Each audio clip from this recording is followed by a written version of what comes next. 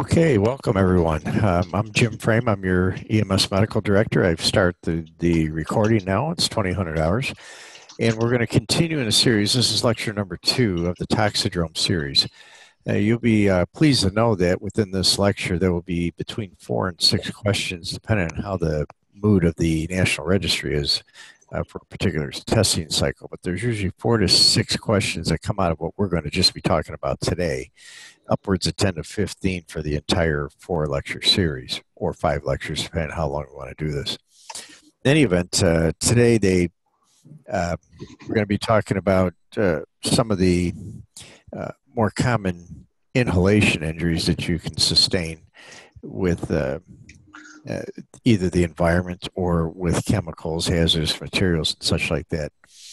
First thing I want to do is at least uh, lay down some ground rules. Go ahead, type your questions in, uh, raise your hand when you do that. There's a little thing up there that says that you can raise your hand.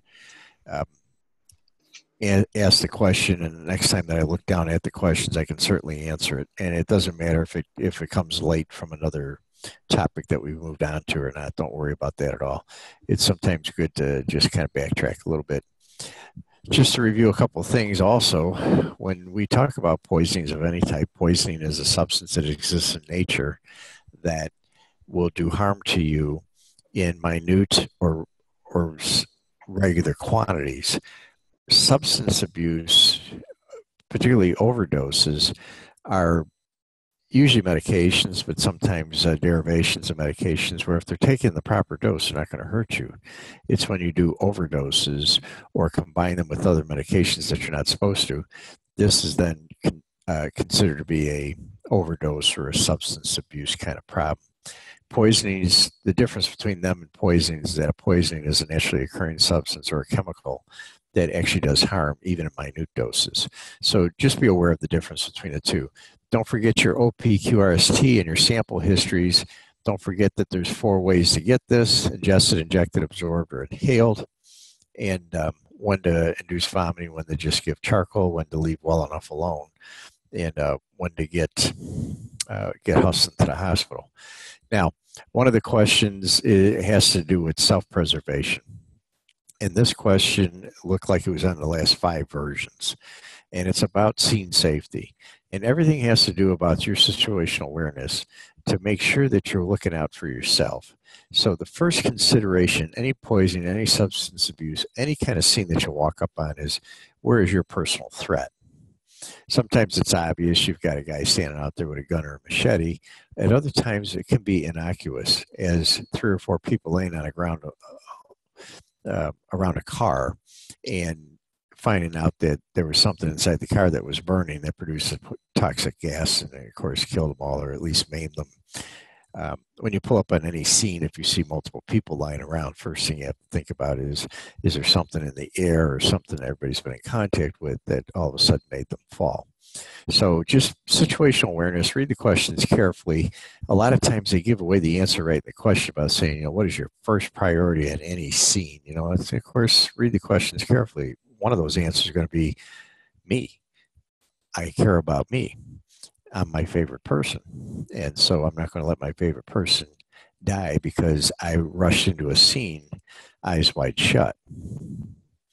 Okay, be cognizant of your situation situational awareness essay and make sure that when you see these questions, you're answering stabilization of the scene using protective gear and situational awareness. In other words, safe for you to enter the scene.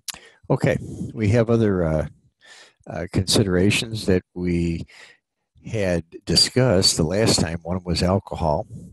Uh, don't forget your alcohol, your alcohol withdrawal syndromes know the four stages of alcohol.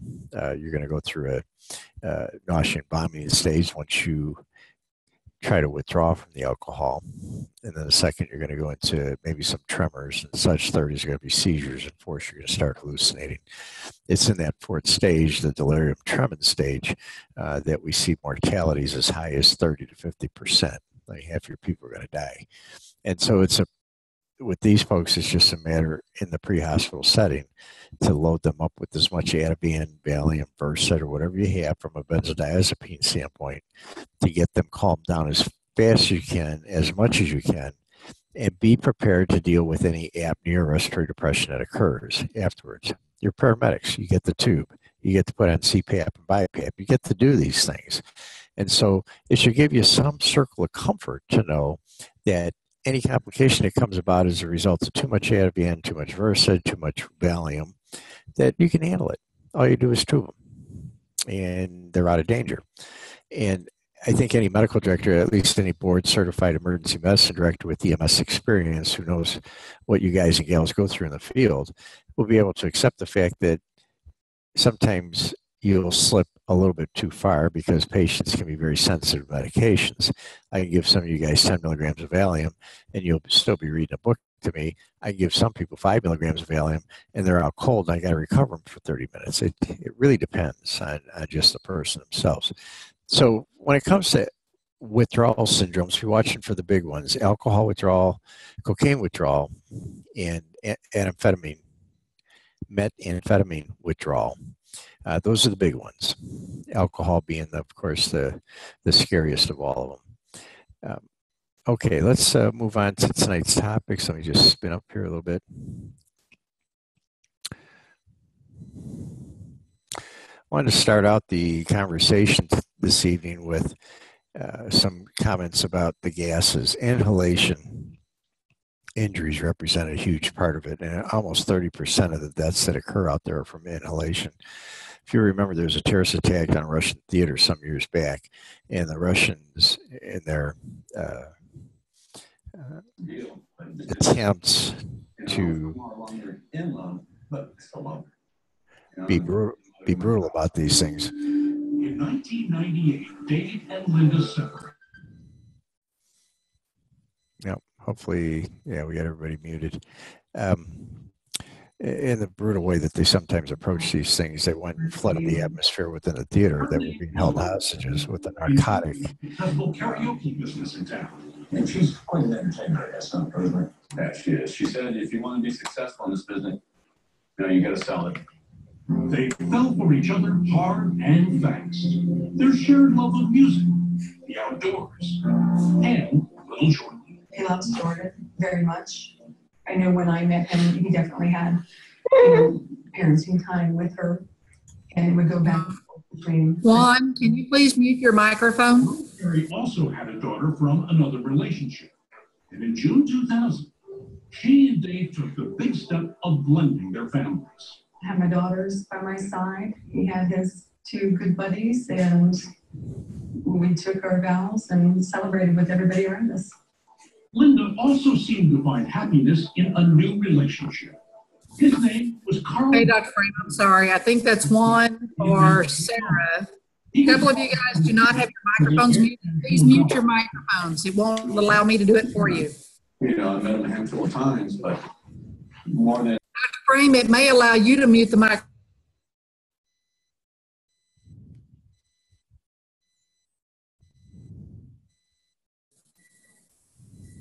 That's much right. better. I think we're there. All right. Uh, yeah, be cognizant of your microphones, folks. That uh, uh, there's these are very sensitive. And of course, this Zoom program, which is probably the best that I, thing that I've ever seen, picks up in every little noise. So anyway, let's uh, sc- scroll up to my inhaled uh, uh, substances that can cause problems. Poisonings, uh, of course, can be by any of the four ways, but the the biggest one being inhalation. That's going to be the most immediate. And so we'll start with carbon monoxide since it's the first one that popped up for me. Carbon monoxide, colorless, odorless, tasteless, displaces oxygen, preventing oxygen to the tissues. Now, this is a very important concept because we're going to be discussing cyanide and then we're going to be discussing carbon monoxide. So I'm going to be using these two to compare each other. Carbon monoxide has to be in a concentration that will displace oxygen in the air. If you fill up an enclosed room with so much carbon monoxide that you have no choice but to breathe oxygen, I'm sorry, breathe carbon monoxide in the atmosphere, what you're doing is displacing oxygen. For some of you firefighters that are out there, if you walk into a computer room after the fire extinguishing system went off with halon, halon works by taking all the oxygen out of the air displacing all the oxygen. and therefore the fire goes out. If you remember the fire triangle, the fire tetrahedron, whatever you're studying these days, you'll see that oxygen or air is one of the sides of the triangle or the tetrahedron. Once one side is removed, the fire goes out. Unfortunately, if you remove oxygen from a human being, that human being dies from anoxia. In other words, not enough oxygen. So when you fight fires, especially in high-tech computer rooms and such, halon will displace all the oxygen. This displacement of oxygen is very key because many substances can poison just by displacing oxygen. But there's a couple substances out there that actually interfere with oxygenation at the cellular level. Carbon monoxide is one of them, cyanide is the other one. When you look at the carbon monoxide molecule and you take a nice deep breath and inhale it, it's 250 times more likely to attach to hemoglobin than the oxygen molecule. The affinity, in other words, the liking of or the attraction to carbon monoxide by a hemoglobin, the little red blood cell, is 250 times greater for the carbon monoxide than is the oxygen. It's amazing. You can have 250, 249 oxygen molecules, one carbon monoxide molecule, and that hemoglobin will seek out the carbon monoxide. When it binds to carbon monoxide, that means that the oxygen cannot bind to the hemoglobin, and therefore, at the cellular level, in other words, at the red blood cell level, you're not able to carry oxygen to the tissue.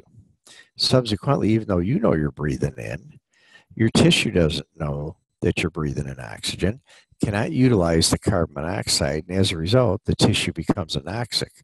Well, name one of the biggest, best, brightest tissues in the body, the brain. That's going to be very sensitive to hypoxemia. And subsequently, within four to six minutes, the brain is dead. Shortly thereafter, the heart dies as a result of that, which is why it's a colorless, odorless, tasteless in many instances. But we all know the carbon monoxide, especially suicides, tend to be from running automobiles within an enclosed space, running generators, or other types of power tools within an enclosed space. You displace oxygen, and your hemoglobin in your body has an attraction for carbon monoxide. Now, this is all the result of incomplete fuel, and so sometimes you can walk outside and say, Boy, I smell smoke, carbon monoxide. And this is the problem that you have. Now, treatment obviously scene safety so i hate to hammer this home again but it is one of the national register questions is you're going to make sure you're okay. So your protective gear maybe an air mask or, or some other device that allows you to, to utilize a self-contained breathing apparatus you'll be able to don that get into the enclosed structure open the doors and windows, start airing it out, locate the victim, pull them outside the fresh air. Those are the first big steps. But the first step is knowing your scene, in other words, situational awareness, have the proper protective gear on, and making sure that you're going to be safe. You're not going to do anybody any good trying to rescue somebody if you drop. That's that's just a basic fact. So once you get the patient outside, for carbon monoxide, you put the patient on 15 liters non-rebreather mask, and you run that for 90 minutes. Within 90 minutes, 80 to 90 minutes, all the carbon monoxide will be out of the bloodstream, and there won't be any evidence of carbon monoxide doing any damage to the tissues at this point. You're saturating the blood with so much oxygen that as the carbon monoxide is being offloaded into the lungs and the patient's breathing it out, oxygen is going to replace that and you're going to get your patient back to normal. The question becomes how long were you exposed to that carbon monoxide and has it done any damage? And this is when you get into cognitive testing. In other words, testing a person's avail- um, ability to think through a problem. And adaptive um, concerns that you have about a patient doing the proper thing in the morning, brushing their teeth, going to bathroom, you know, taking showers and such like that. Um, and you want to do that in a proper sequence and a proper order. Carbon monoxide, if a person's been exposed to carbon monoxide for too long, even though you've put the 90 minutes of oxygen mask on them, 15 liters non rebreather, fill up the little reservoir bag, even though you've given the patient that, they may still have some brain damage as a result of it. So it's not over just putting oxygen on the patient, bring them to the hospital. I don't put 90 minutes on them and then decide, oh, hey, you're back to normal, and we know by our studies that all the carbon dioxide's gone, so I'm going to go ahead and send you home. That doesn't happen. That won't happen. What I do in the emergency department is something that uh, we we want to measure the direct correlation of the carbon dioxide that's in the bloodstream still, and that's called the carboxyhemoglobin. And if the patient still has that uh, at a high enough level within the bloodstream, then we can anticipate that there's going to be some mental capacity issues later on in life. Therefore, when you get on the scene, you assess the scene for your own safety, pro- don the proper gear, ventilate the space, locate the victim, move the victim out. All right, so that's carbon monoxide.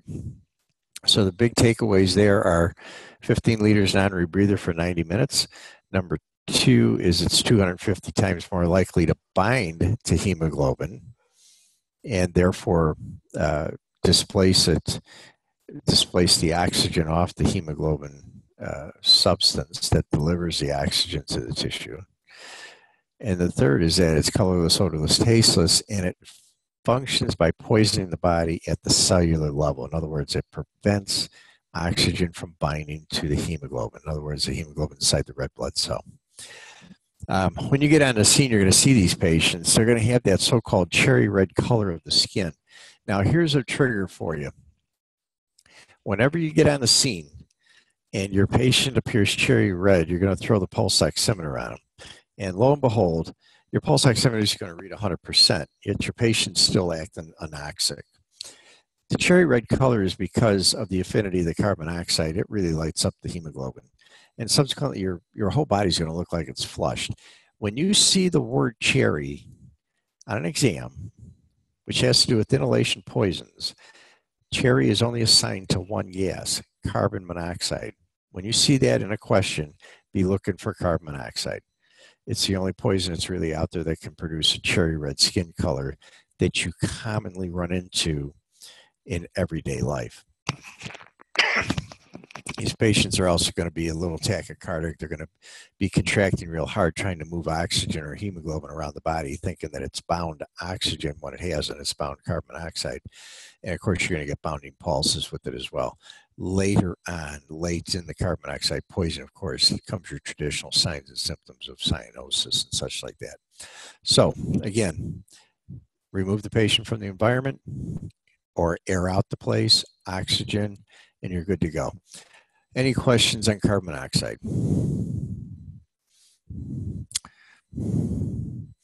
All right.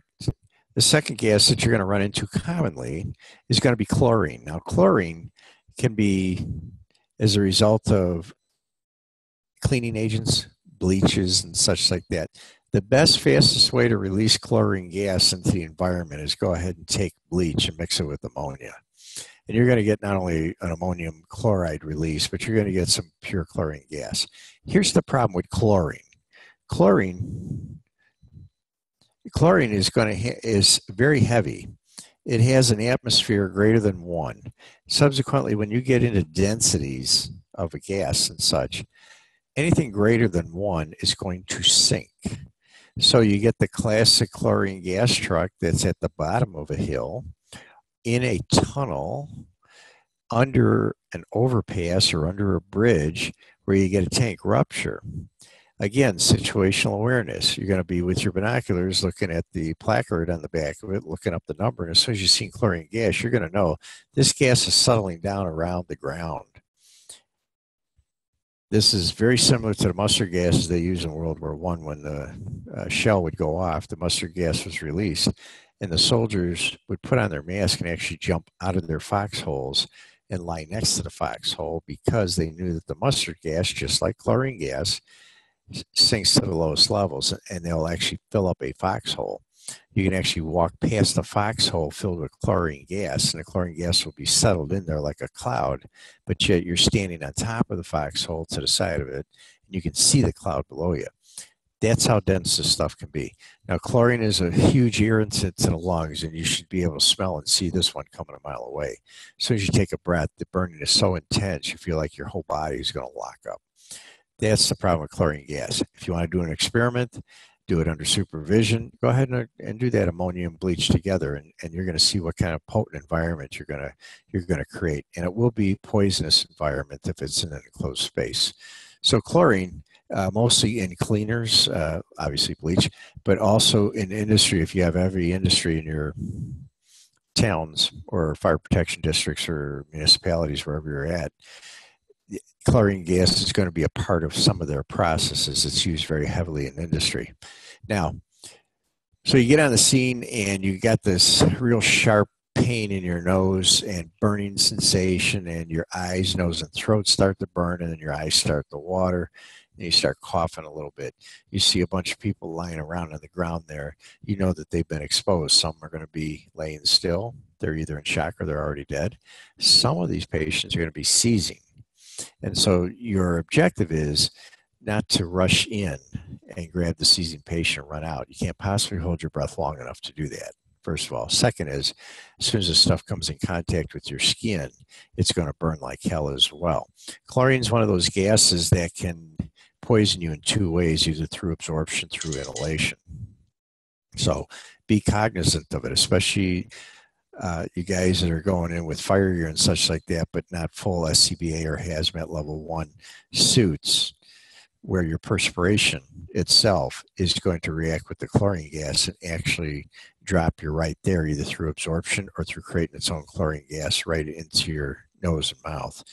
So this would be a um, uh, quite a difficult assessment and management for you.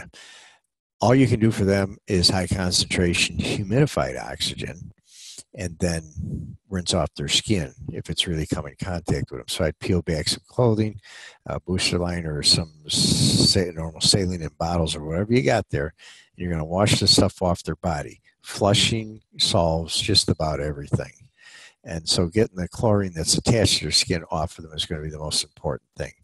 Now, chlorine is just one of those things that displaces oxygen and it's not going to be able to um, work at the cellular level except to say that it's going to block oxygen from getting into the red blood cells and such. Chlorine in high concentrations, of course, can cause a lot of ventricular dysrhythmias. What's the takeaway point of chlorine gas? You're on the scene, you look at a placard, you see that the you are upwind, the truck is down the hill. What's your major concerns? What gas are you looking for? And invariably, the answer is going to be chlorine gas. This is a favorite. It doesn't take long. Um, when you look at chlorine from a standpoint of displacing oxygen, I should have mentioned this as well. If you take a couple of breaths, the chlorine is going to get into the bloodstream. And again, it's going to it's going to block certain enzymes, the oxidase enzymes, cytochrome oxidase enzymes. You can look that up if you want to get fancy and read the actual enzyme. But the bottom line is that uh, it's going to block utilization of the oxygen as well. So not only is it burning up your lung tissue, causing blistering with your lung tissue, not only being absorbed through the skin, but once it gets into the bloodstream, if it hasn't killed you yet from a lack of oxygen, then it's going to kill you by uh, disrupting the cellular level utilization of oxygen. So this is the second gas that disrupts cellular level and poisons you at a very specific level. In this particular case, oxygen, same carbon dioxide. The third one that we're going to talk about is going to be the cyanide. Now, cyanide is um, it's probably the fastest acting inhalation substance. I mean, it only takes one or two breaths and, and you're pretty much unconscious. A couple more breaths after that, and you've stopped the heart. Again, a cytochrome oxidase inhibitor. In other words, it inhibits certain enzymes within the uh, oxygen phosphorylation pathway. In other words, the pathway that utilizes oxygen. So when you think about cyanide, you think about the old execution chambers in California, where they would do um, a lethal gas. You're put into a closed atmosphere and then they drop the hydro the uh, cyanide uh, mothballs, if you would, into hydrochloric acid. And of course, the producing cy- cyanide gas would uh, judicially execute the prisoner. Uh, it works very quickly, one or two breaths, like I said, and it's done. What it does is it physically blocks any oxygen from going into the cell and for that cell to utilize the oxygen. So once again, in addition to chlorine and carbon monoxide, you got another substance here that blocks oxidation. In other words, the body's ability to use oxygen at the cellular level. Now, although we think about cyanide as burning silk, synthetic carpets, plastics, and such like that in house fires, you also have to think about it in a powder form as well. Cyanide, when it's used in industry, for instance, nickel plating or such like that, that you may have in your town, through some very sophisticated industrial complexes, the home materials that you have or even at the fire station or in the ambulance services that you're running with, are going to have some cyanide in them. It's part of the industrial process to make them shiny and, and clear. Nickel has to attach to steel, and you do that through cyanide uh, scratching and such like that. I mean, it's all very sophisticated. Cyanide will come in a powder form. So you can put your hand into a powder of cyanide as long as you don't have perspiration on your arm and you'll be able to pull your hand out, brush off your the, all the powder, and then and then go ahead and flush copiously. But yet, once that turns into a gas, or once that cyanide is absorbed into the bloodstream, it takes 15 seconds to a minute, maybe two minutes to to kill you. It's very lethal. It's considered the most lethal uh, poisonous gas that's out in the in the world today.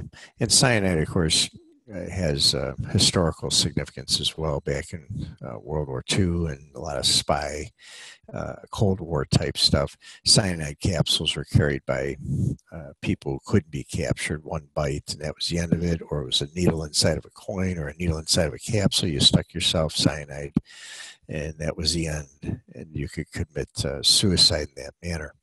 So lots of ways to die, a million ways to die in the West. This was one of them with cyanide. So, again, real, real fast. What you'll hear now on the test, and here's another exam clue.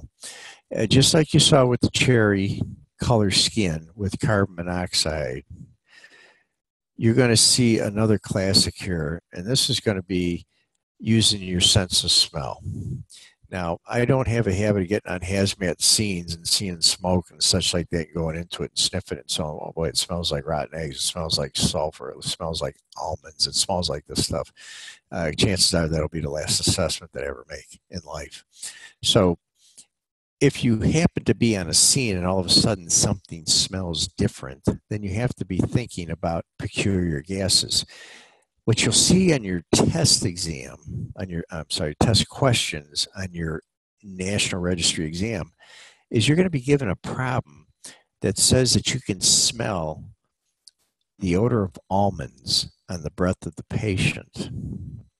That's going to be your big clue when you see the word almonds, it's cyanide. If you see the word, word cherry red skin, it's carbon monoxide almonds are going to give it away. That's going to be cyanide. Burning byproducts of household furniture when you get on house fires and such, car seats, inside automobiles, the plastic dashboards that they now use, even the hard plastic stuff, electrical wires, and the rubber that burns off of them can sometimes produce cyanide. Cyanide can be produced in a lot of different ways these days, which is why OSHA, as well as NFPA, mandate that if you go into an enclosed structure, whether it's a structure fire, building fire, whatever it is, even a car fire, that you have to have masks on because of this incidence of cyanide and how it's crept into society, being a synthetic or a, or a vinyl or you know, whatever it is that's burning, cyanide gas is produced. So be leery of it. And then again, just like every other gas that we're going to talk about, 15 liters non-rebreather on the face. Now, the difference between cyanide poisoning and carbon monoxide poisoning, carbon monoxide doesn't allow the oxygen to bind to hemoglobin. Cyanide just gets down to the tissue level and says, I'm not going to let you utilize the oxygen down here, so you can unload all the oxygen you want. I'm going to uncouple you from the tissue, and it's game over. So it doesn't take long. 20 40 seconds is the mean average but one uh, anywhere from 15 seconds to one minute uh, in an inhaled form. If you bite down on a poison capsule, it's instantaneous. If you stick yourself with a poison needle, it's instantaneous. Uh, so be be leery of cyanide. It's it's the it's the deadliest out there. Um, they when they talk about treatments for cyanide, I tend to just put non-rebreathers on these people, and then I kind of watch them. If they've had any kind of significant exposure, then you have to come out with the so-called cyanide antidote kit. And the objective is is turn is to bind all the cyanide that's in the body, and then convert it once again with a second material, and then once it becomes inert, then the kidneys just allow you to urinate it right out of the body. So look at your antidote kit, your cyanide kits, from a standpoint of being able to first stage bind something, second stage create a higher concentration of methemoglobin, and then third stage is to get it to convert once again, then excrete it. Um, it by the time you open the kit, most people are dead from cyanide exposures. If your patient's still alive after a cyanide exposure, then the Cyanokits will probably be worthwhile. Quite frankly, many fire departments, unless they have hazmat teams, many fire departments have one kit in their ambulance. They're confident they'll never use it. If they do use it, it's going to be on somebody who's survived the initial insult and could probably benefit from the kit. But I wouldn't get too worried about stocking this on the ambulance unless it's a local policy. Most cyanide you're going to run into are either going to require high supplemental oxygen or they're already going to be dead. All right. Any questions about those gases? Now, fourth gas that you can come up with is not odorless, colorless, or tasteless. It smells like rotten eggs. This is going to be hydrogen sulfide. Hydrogen sulfide in the gas form can be very deadly. This displaces oxygen, but it deposits the sulfur molecule in there, which also um, stops oxygen from being utilized at the cellular level. This has a very strong, very pungent rotten egg odor to it. And as a matter of fact, as soon as you take a sniff of it, you throw up or you're getting ready to throw up. It hits, hits you that hard. And so the hydrogen cyanide uh, produced from sulfuric sulfuric acid, like in certain toilet bowl cleaners, um, battery acids. The some of the guys that are out there, if, you've had cars around since the 70s and 80s, when we used to have to fill up uh, the water and the and the batteries. Now that they're all sealed and self-maintained, but back then we had to put in uh, distilled water into the batteries to uh, uh keep the sulfuric acid going along. Once these batteries exploded, once these batteries spilled over, once you got that sulfuric acid on your hand, it burned like hell. And if you got a whiff of that gas, it would burn like hell when you took a breath. Or if it got in your eyes, it would water like all get up as well. Um, as you can imagine, a large battery or something that's burning in a confined space that gives off hydrogen sulfide is going to smell real, real bad it's going to cause death, obviously, within 30 seconds to a minute. And that does it by not only oxygen displacement, but also interfering with the utilization of oxygen at the cellular level. So, um, you know, the, boy, the toilet bowl cleaner was probably the most interesting one. That was the actual fire harsh story that I had in the 1970s, where we mixed uh, some toilet bowl cleaner in and scrubbed out the toilet. And somebody decided, hey, you know, let's keep it clean for the whole day. Let's put a little bleach in the toilet, and the bleach will keep the ceramic nice and clean. Well, it, it did. It kept it nice and clean for a whole day because nobody could use the toilet because nobody was in the fire station because everybody bailed out of the fire station because nobody could breathe. So you know, there's a there's a tail end to this story. He accomplishes his mission. Nobody used the toilet. So you have to be careful of bleach mixing with anything. Toilet bowl cleaners, ammonia, probably the two worst things that you could do. Hydrogen sulfide, in the case, however, of rotten eggs, is going to be your association on the test between words and what the answers are. Um, so I don't know that I have any other hydrogen sulfide stories there. All right. Uh, anybody have any questions? I'm looking at the question uh, box here and I don't see anything. So either I've put you all asleep or we've been pretty thorough with this.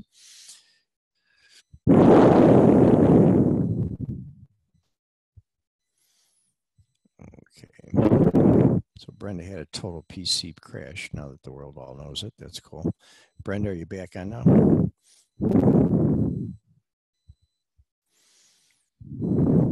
All right, Jonathan, good. Okay. All right, the next, uh, you know, there's a bunch of other um,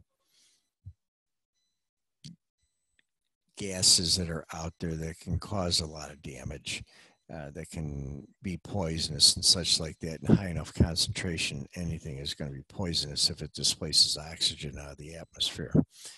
And so Uh, this is you know this is where you have to have a little bit of sanity about you when you're reading some of the hazmat books and such. They're going to say yeah this is toxic. How is it toxic? Is it toxic at the oxygen utilization level where one or two or three breaths and i'm done for? Such as chlorine gas hydrogen sulfide carbon monoxide or cyanide or is it going to be one of those things where it's going to displace oxygen and I'm actually functioning at a 9% or a 15% oxygen environment? I might be able to get one minute's worth of breathing before I collapse and die as well. So, not to test any waters, but gases in their pure form very rarely exist in nature. And there's a good chance that, especially with combustion, burning house materials, burning truck materials, such like that, with any kind of combustion, you're going to get incomplete combustion and you're going to get multiple gases at the same time. Cyanide could very well be hidden in those. So again, the uh, uh, the associations I went over, make sure that you know the associations of rotten eggs to sulfide, odor of almonds to cyanide, cherry red skin to carbon monoxide, and make sure that you're very clear that situational awareness and proper protective gear are the two mainstay answers you're going to get. And it's going to nail at least half of the questions that you're going to have just in that short little blurb that I gave you. All right, we move on to caustics.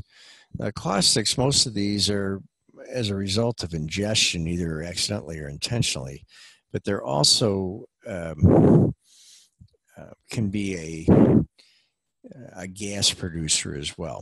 So let's take uh, Drano. It comes in crystal powder form and such like that. You pour it into a drain and they tell you to kind of close off the drain a little bit because of the presence of hydrogen sulfide or hydrofluoric acid or some of the other uh, nasty gases that are out there that can not only displace oxygen but also interfere with the oxygen being used at the hemoglobin or the tissue level.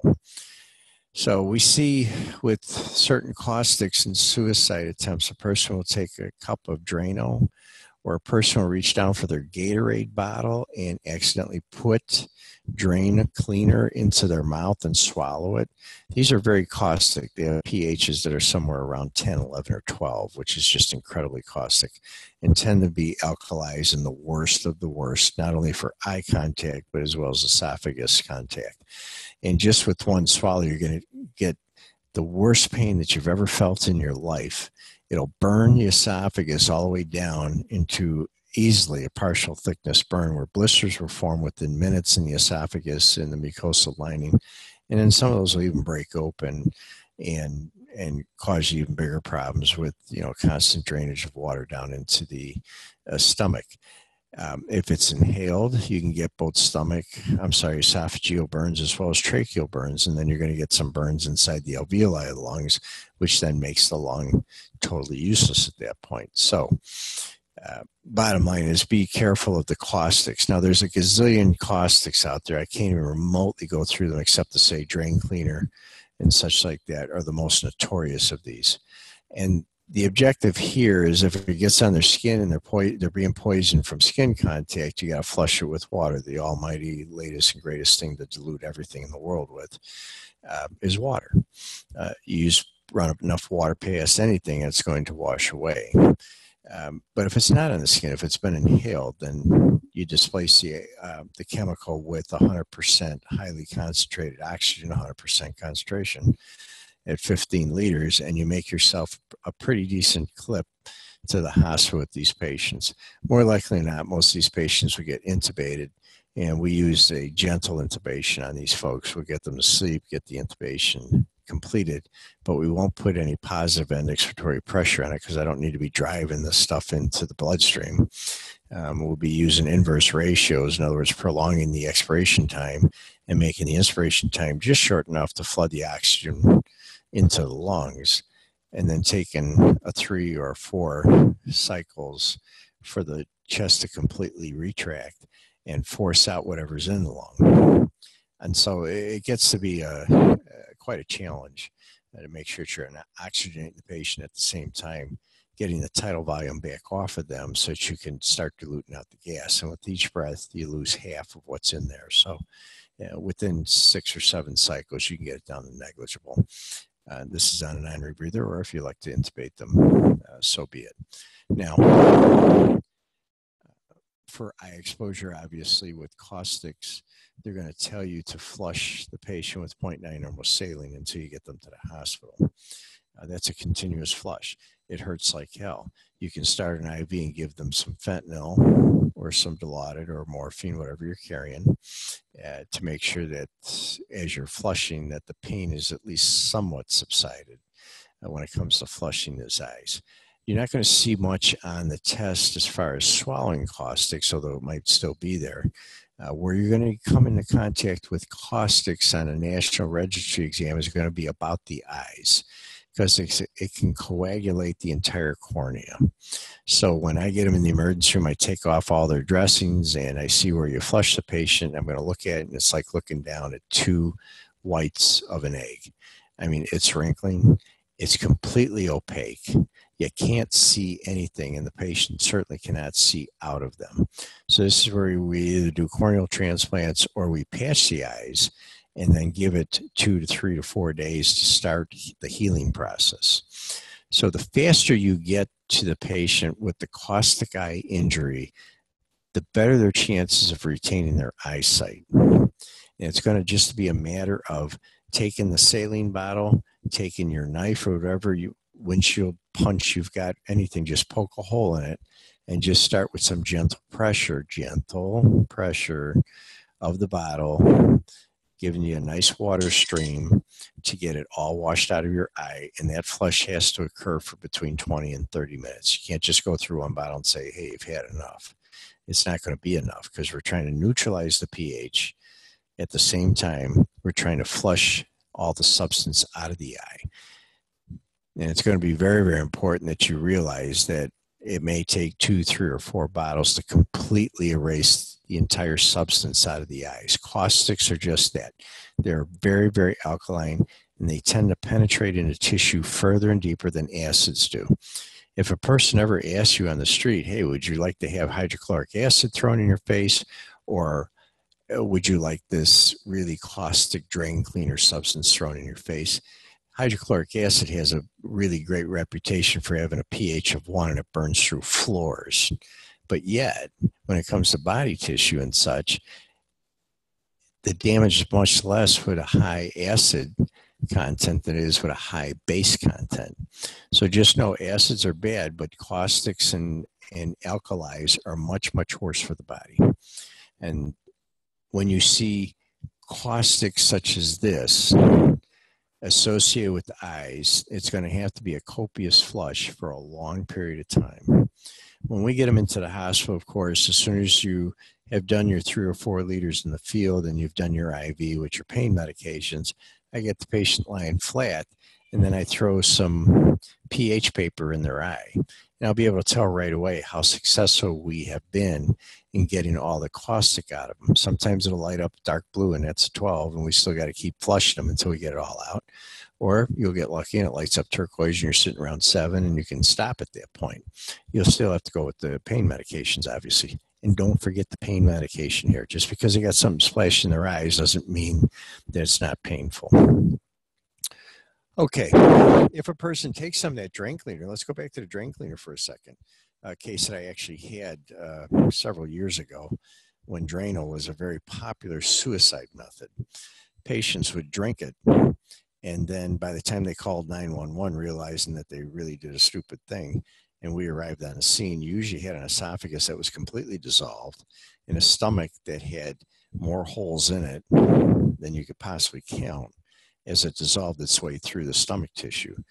And then, of course, when you dissolve the esophagus, the esophagus is being blood, uh, fed by no less than 50 or 60 arteries, or real small arteries, but nonetheless, when you open all of them up, they don't necessarily burn off. And so you're going to get bleeding into the chest, what they call mediastinitis, a GI bleed at the same time, and a caustic congestion of Drano is just about 100% fatal. I haven't seen any successes come out of those at all. And once they vomit and aspirate and that stuff gets into the lungs, uh, yeah, I don't see how you could possibly survive something like that with half your lung tissue dissolved almost instantaneously. So, whenever you do get a patient like this, if the um, MSDS calls for a certain specific antidote to be given and they have it packaged right there, go ahead and give the antidote. if you don't have an antidote, um, you cannot you cannot give anything like Ipecac or something that will induce vomiting. You just can't do it. If the antidote's available, give the antidote, but don't give just anything. Well, you swallowed this caustic stuff, so let's uh, you know, let's uh, let's give you this bottle of Maalox. They'll neutralize it. We call it a day. You know, that's not appropriate. Okay, if there's a specific antidote, give it. If not, don't do anything. Don't give anything that's going to induce vomiting. Don't tube any tubes down there to pump out their stomachs. As soon as I drop that tube in the back of their throat, it's going to pierce right through the esophagus. And if I start suctioning, I'm going to get things like, oh, heart, lungs, great vessels, etc not stuff that you're very encouraged about seeing coming through a suction tube. Um, and you're not even going to give activated tra- charcoal, to be honest with you. You have to keep these patients just perfectly still, anticipate their seizures, anticipate death. But one thing you can't do is you can't jostle these people around and you can't induce vomiting. You can't give anything. Once the esophagus is perforated, once the the stomach is perforated, you got complete access to the lung. As soon as I swallow something, it goes right into the lungs. Charcoal will induce a fatal episode as well. So eh, you're between a rock and a hard place, which is why any significant drain cleaner ingestion, not just a mouthful, but a couple gulps, is a suicide intent. And these patients have other issues going on as well. It's a bad scene all the way around. All right. I think we can Get past that. Let's go to methyl alcohol. Methyl alcohol is also known as wood alcohol. And as soon as you hear methyl alcohol and wood alcohol, what's the first thing you think about?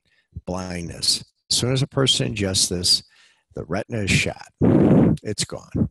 They drink two or three cups, tastes just like regular alcohol. You can mix it in a drink and drink it. You can drink it straight up and drink it and it will cause blindness. And there's no hope recovery from that blindness. It, for some reason, has a great affinity for the retina and it just burns up the retina. That's methyl alcohol. Now, um, here's the beauty of it when you drink the alcohol, the methyl alcohol, the wood alcohol. It should have a skull and crossbones on it to indicate that it's a very bad poison. But once they mm-hmm. drink it, they're going to go, yeah, you know, I'm doing perfectly fine. So they go home, they go to sleep, and they wake up blind the next morning. It's not an immediate effect. It's not two, three, or four drinks. And you can still drive home and such, although you're intoxicated, the same way you would be with ethanol. However, blindness ensues before that, you get the nausea, vomit, you get the headache, and then the blindness comes about, and then death comes about soon after that. So, with anybody, and, and I always love the AEIOUs, and I'll make that a separate lecture all in itself. As a matter of fact, I'll make it the next lecture. AEIOU stands for a lot of good things. And the A for the altered mental status includes apoplexia, which is stroke, alcohol, and you have to think of any of the uh, butanols to ethanols to isopropyl alcohols down to methanol. You have to think about all the alcohols here. It's not just alcohol intoxication. I was at a bar and I got stoned kind of thing. It could be almost anything. And we have a lot of morons that are out there today that show up at parties and like to drop little things in the drinks and such uh, to get other people either in a more compromising situation or as a great assassination um, tool. Uh, anything can happen at any party, at any time, any place, anywhere. So the next morning when a person wakes up altered, well, he was out drinking all night with some friends. Uh, okay, well, if you're in downtown Los Angeles a sophisticated place, it's probably a pretty good bet it's ethanol or one of the date rape drugs. If you're in the Tennessee or Kentucky hills and you're getting your moonshine through radiators and such, then you have to be thinking about ethylene glycol or some of the antifreeze poisonings, poisonings which are alcohol related, or even methanol, wood poisoning. Uh, these these will cause 12 to 18 hours later cause all your symptoms, including blindness. So be worried. Altered mental status is one of them. Altered mental status can be a symptom found in just about everything in life. So, what do you do with methanol? Let's say you got the skull and crossbone on a wood uh, barrel, and the patient who's an alcoholic has been desperate to drink something. He's out of regular ethanol. So he sees wood alcohol on the side of a barrel and decides, oh, the barrel's wood, the alcohol's in there, it must be wood alcohol, safe to drink. He drinks it, and the next thing you know, he's blind or he's altered. How do I treat it? First things first 100% oxygen, non rebreather, 15 liters. Second, start a line. 0.9 normal saline, give them a fluid bolus. Third, this is important. You may want to give bicarb right away. These type of poisons, especially with alcohol poisonings, if it's a known wood alcohol poisoning, can cause acidosis pretty quick in the bloodstream. Even though bicarbonate has been poo-fooed as a resuscitation drug in cardiac arrest, carbon, I'm sorry, sodium bicarbonate still has its uses, which is why you still see sodium bicarbonate on competent protocols by board certified emergency medicine physicians being used in other situations than cardiac arrest. Methyl alcohol poisoning, ethanol poisonings are such an example. Tricyclic antidepressant overdoses are a perfect example. And of course, anybody who's been down for quite a while in a shock state will benefit from some bicarb as you try to restart their heart. So there's still some indications for carbon sodium bicarbonate. This is one of them in methyl alcohol. By raising the pH, you bind a lot of the free acid that's in there produced by the wood alcohol, and you could avert disaster. Okay, the last substance we're going to cover real quick before I summarize this whole thing is ethylene glycol. This is odorless and colorless, although it does have a nice sweet taste to it. It's antifreeze. And the reason why pets die from it is because you spill this green little fluid on the floor of your garage. You don't clean it up. Cat or dog comes out, sees that it's green, smells it, smells sweet, tastes it, it tastes sweet, and they lap it up. And then a couple hours later, they're dead. It's the same thing with children. Children see it as a nice, pretty green liquid or a blue liquid, and it tastes sweet. And so they're going to be more prone to taking a larger dose of it because it tastes pretty good. And then within a short period of time, the child dies. And accidental overdoses and poisonings are still one of the top three causes of death in children. Now, what, how does it uh, poison you? It shuts down your liver, shuts down your kidneys. And so you get, uh, you know, a whole series of symptoms and such like that that you would get with uh, anything else. So when somebody says, well, they look like they're intoxicated and they have altered mental status, nausea, vomiting, seizures, and coma, well, that can fit to just about any toxidrome that's out there. So you're not going to get a test on the National Registry that says, okay, which of the following poisons can cause CNS depression with an intoxicated appearance and nausea, vomiting, seizures, and coma? Because you can circle all of them and keep moving. Um, you're not going to get a question like that. Uh, you have to have a high index of suspicion, and this is where these words make a lot of sense. If you're looking for it, you can find it. If you're looking for it and don't find it, it isn't there. But more times than not, if you're not thinking about it, if you're not looking for it, you may not see it even if it is present. You have to have what they call a high index of suspicion. In other words, I think this might be going on. I'm in a garage. There's antifreeze laying all over the floor, and I got an altered patient here. The car is not running. I got my carbon monoxide detector here, and nothing going on here. My eyes and ears, and nose and throat aren't burning. Open up, ventilate, get them outside. Be thinking ethylene glycol. Now, again, this is a poison, so even in small doses, it can kill a patient. There's no such thing as an overdose on antifreeze because there's no normal dose. So you can't overdose on something that doesn't even have a normal dose. So bottom line is that ethylene glycol is testable on your exam. It has showed up on the last five exams that I could see, and it's a very, very common cause of childhood poisonings or pet poisonings. You go into a, a garage, you see a child lying there unresponsive, and the cat or the dog are laying next to them, and they're unresponsive. So one of the first things you'll be looking for is ethylene glycol. So you can um, you can use something called calcium gluconate. Now most of you in your EMS boxes are carrying calcium chloride.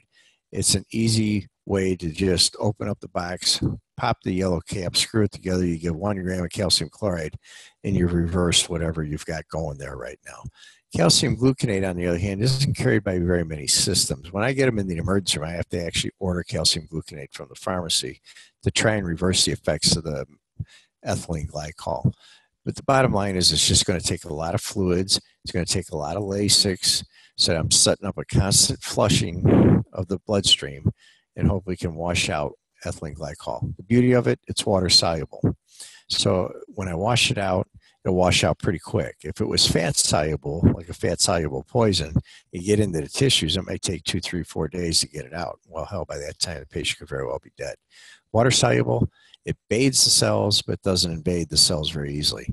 So I can wash that out pretty quickly.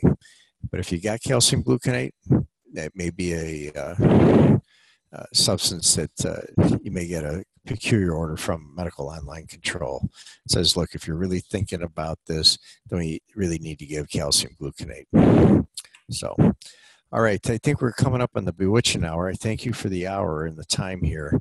If you have any questions, uh, since we covered a lot of material here, and I wanted to cover the material of the substances that I know that are going to be on the next couple of exams. I want to make sure you got the word association correct. More importantly, I want you to know that there's commonality, commonality with all the signs and symptoms here, especially altered mental status. And therefore, that's not going to be a big help. You're not going to see much there.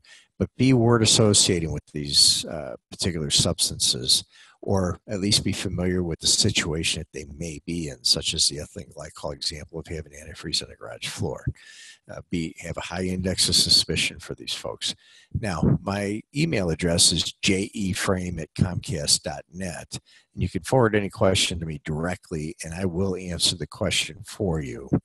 When it comes to toxidromes, I don't mind the questions. It's very near and dear to my heart, but it also is tested on a national registry, and I want to make sure that you're very clear about mostly safety precautions and situational awareness more than anything else. So before we depart, does anybody have any last questions for me?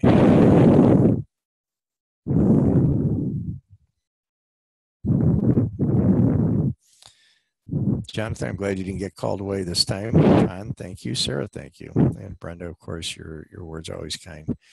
Juan, thank you. All right, if there's nothing else, uh, I'll close this recording out. And uh, Jane, it is on the cloud. And uh,